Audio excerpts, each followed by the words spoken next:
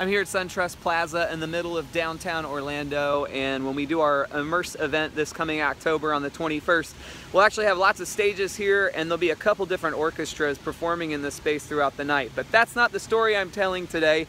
We've been in the process of building a relationship with this dance company from California. They're called Bandaloop and they actually take dancers and they hang them from the sides of high rises and they do these vertical dances. If you've never seen it, Google it. There's some videos and some photos. It's really, really awesome.